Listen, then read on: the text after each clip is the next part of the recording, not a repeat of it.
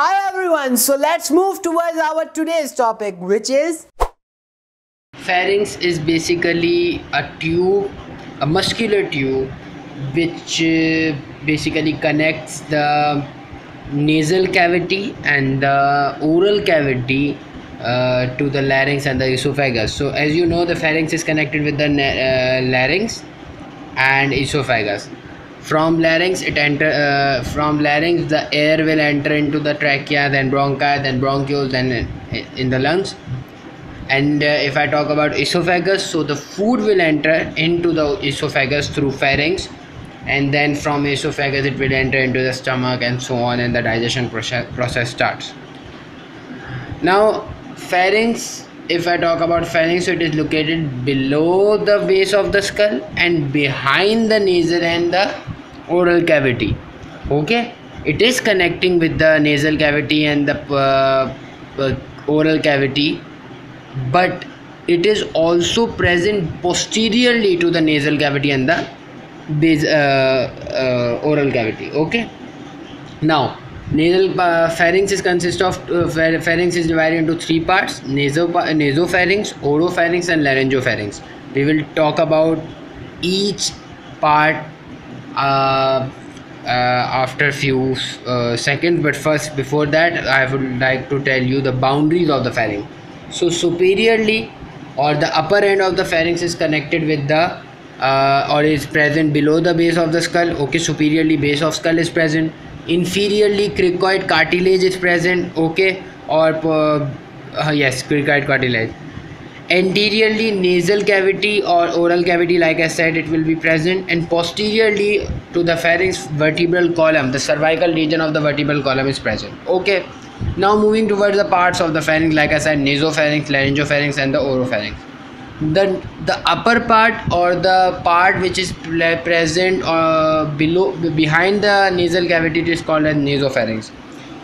Now what happened? It will transmit the air only. Okay, as you know, from nose from nasal cavity we usually inspire the air okay? So it is only for the respiration purpose. So the upper part is only it the function of the upper part or the function of the nasopharynx is uh, to transfer the uh, air only okay? It helps in respiration only one more point the nasopharynx is connected with the middle ear through a tube called as eustachian tube which is also known as auditory tube and the nasal cavity the nas- sorry the nasopharynx also consists of tonsil okay as you know there are few tonsils pharyngeal tonsils, palatine tonsil, uh, lingual tonsil, and together they will form a ring called as Waldeyer's ring. We have discussed in the separate lecture. lecture.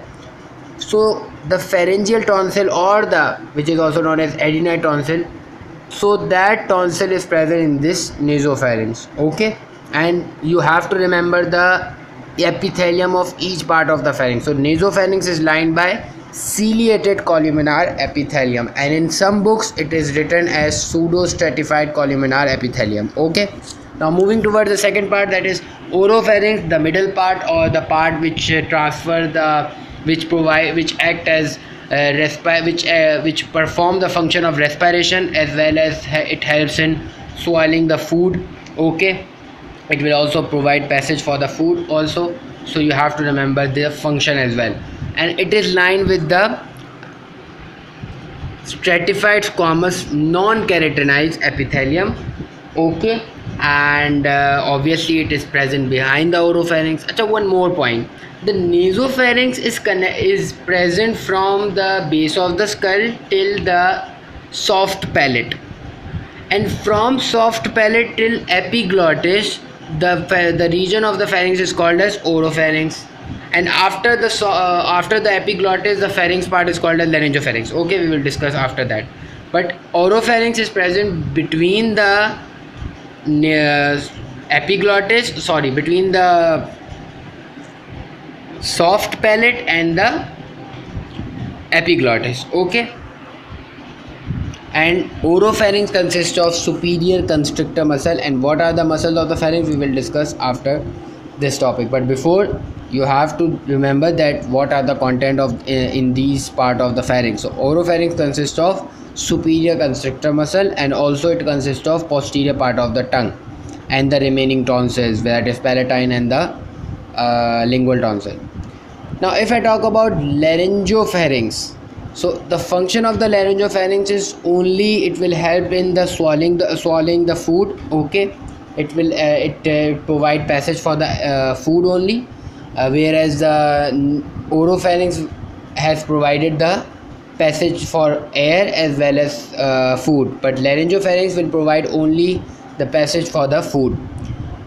It is a lower part. It is present below the epiglottis it is present between the epiglottis and the cricoid cartilage. And remember one more point. The ending of the pharynx is at the level of the c6 vertebrae. Okay?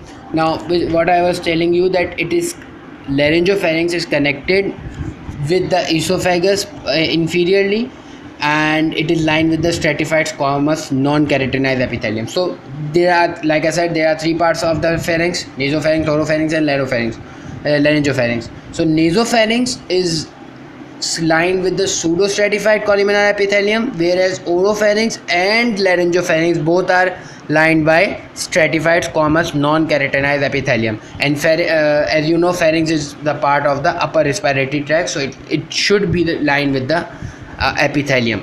Okay. And uh, cilia will be also present in the nasopharynx.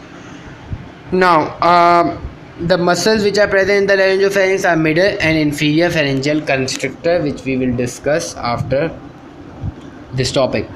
Now what are the layers of the pharynx? There are five layers and you have to just only you have to remember the names Number one mucosa, then submucosa, then pharyngobasilar fascia, then muscular coat, and then the fifth layer is buccopharyngeal fascia.